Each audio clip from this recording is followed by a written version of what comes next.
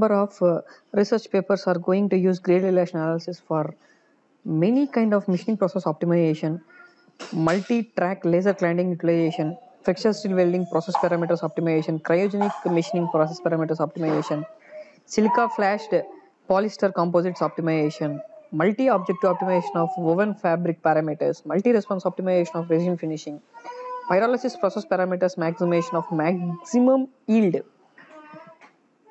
There are three steps in grey relational analysis. The first one is the normalized in the given data or pre-processing. It can be used by using two formulas. And the second one is a grey relational coefficient.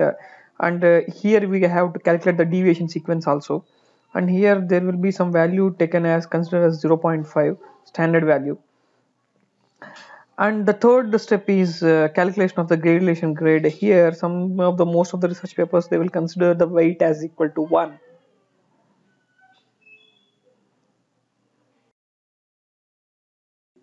Now we will try to solve a sample problem which will be considered for calculation in Microsoft Excel software and this problem has been published in a SEA and Scopus Intern General and this was the reference which I have considered. I have taken the output uh, parameters in this Excel file like five output parameters material removal rate, surface roughness, temperature, feed force, radial force, tangential force, etc. Here I am considering the minimum and maximum values in a separate cell. Uh, why? Because uh, in my normalized uh, step, I am having minimization and maximization values. So here I am by using the formula minimize min and I am going to select the entire column. Similarly for maximize also maximize of that entire column I am going to be selected like this. Then I am pressing the close uh, arrow then enter. Now just simply dragging that one through the entire row so that it will fetch the minimum values for the six output parameters. Uh, similarly for maximization also I am trying to uh, drag it so that I will get the maximum values. And the next step here I am going to be start with the first step that is called as normalization. Uh, here normalized or data pre-processing here I am trying to do um, take the same uh, output parameters every time so that I am copying the first uh, part.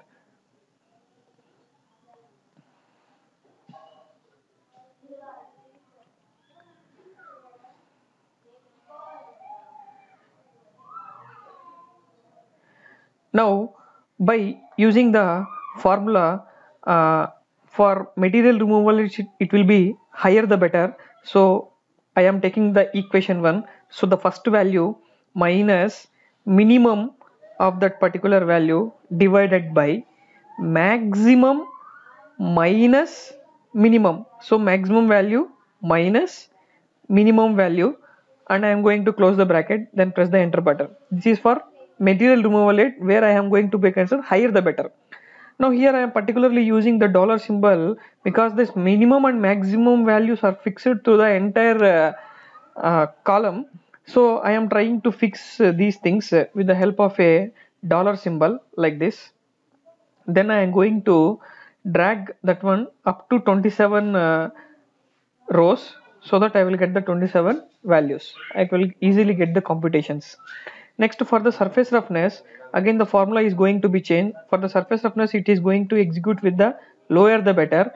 Uh, so the second equation is going to be done for surface roughness, temperature, feed force, all these remaining five output parameters we are going to be consider lower the better only. So the formula will be same for all the remaining five cases. Now here I am trying to use max minus xik divided by max minus minimum so that I will get a formula like this. Now i am again adding a dollar symbol in such a case that that particular row and column is going to be fixed for the particular cell. And whenever i am dragging that uh, cell will be constant for the all cells where i am going to drag the formula. That is the basic excel trick which we need to apply for a easy computation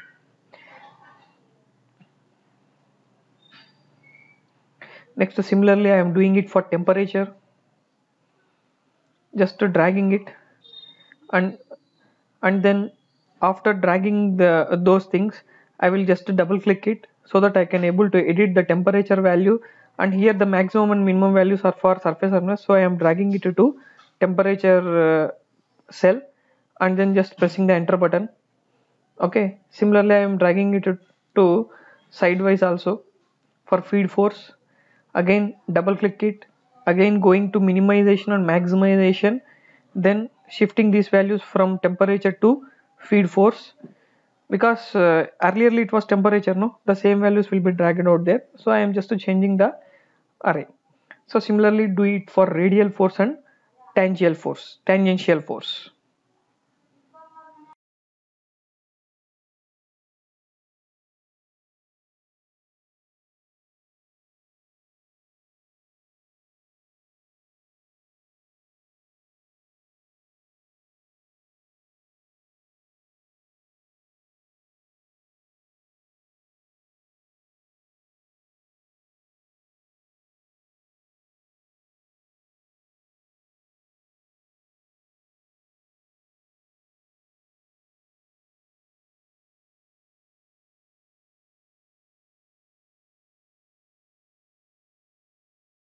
now we have got the entire values. Just to select the all rows and drag it up to the column wise so that you will get all computations for 27 values. Now just I am making a box uh, so that it will look good. Now this is the normalized table normalized values which I have got. So here I am going to estimate the minimum value and maximum value as I have done it uh, the similar kind in the previous step also uh, because in the second equation also again we are having minimum and maximum. By seeing the values I can able to justify that the maximum value will be 1 and minimum value will be 0 uh, this is the one of the most important identifying thing in the gray relation. You will get uh, 0 or 1 as the maximum or minimum values. Next I am going to estimate the deviation sequences. So for that one just I am going to copy the same uh, names of the output parameters and naming it as deviation sequence. Now for estimating the deviation sequences uh, we have a formula like this. So here delta ik so delta ik is going to be estimated from the uh, like uh, 1 minus that maximum value minus the current value. And then this will be common through the entire case. And uh, this one is a uh, maximum cell which we have taken so that will be common throughout the problem. So i have i am doing like this and then i am going to drag it to the bottom surface so that i will get the entire values like this. It's again uh, e easy to remember it. Uh, and the next uh, part in the deviation sequences is i am going to estimate the gray relation coefficient. Actually the second step is gray relation coefficient. In the gray relation coefficient we will have delta i in the formula. So that formula delta i calculation we, we have taken the previous uh, table. Now it is gray relation coefficient. So gray relation coefficient is going to be estimated uh, by using uh, the particular formula.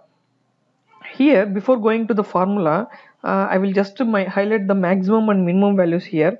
So again no need to just uh, say it clearly. Maximum will be again 1 and minimum value will be 0 because uh, our data should be in between 0 to 1 then our uh, execution for the grey relational analysis is uh, apt and good.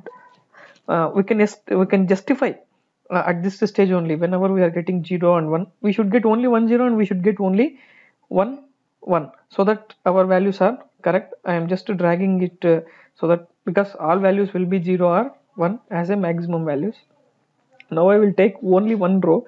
So here i am going to estimate the gray relation coefficient by using this particular formula. First is the delta minimum that is 0 plus. Here eta value is there. Eta value here i am considering it as 0.5 most of the researchers they are going to be considering it as a 0.5 only. Uh, in the most of the journals others are doing the same thing. And the delta max delta max is uh, the maximum value that is uh, 1 then divided by uh, delta ik that is the current value which I have taken in the deviation sequence the current value plus again delta that is 0.5 into the delta max that is 1 so I am going to close the brackets then press enter button. Now I am double clicking it and I am going to add the dollar. So I am saying multiple number of times this one. Dollar symbol is going to fix the corresponding cell okay for the entire computations just dragging it in the column wise first in a row wise then into the column wise up to 27 experiments so that now I am finalized with the gray relation coefficient Similarly, the last step, that is the third step, gradation gate is going to estimate by using this formula. Here, uh, the weight consideration, most of the authors, they are considering it as equal weight for the all outputs. So here we are having six output parameters, that is 1 divided by 6, 1 divided by n is, n is 6 of the current gradation coefficient value.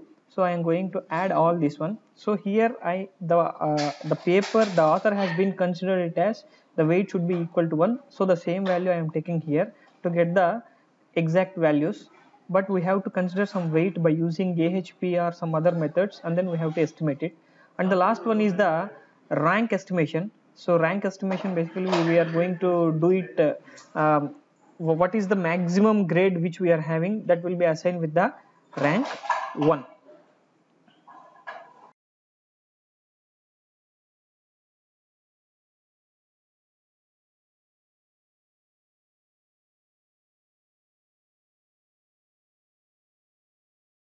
After estimating the ranks for all experiments uh, for 27, I got the first experiment as the best experiment. Uh, from here, I can able to conclude that uh, uh first experiment gives maximum MRR and the remaining parameters as a minimization for the first experiment. So I can conclude like this.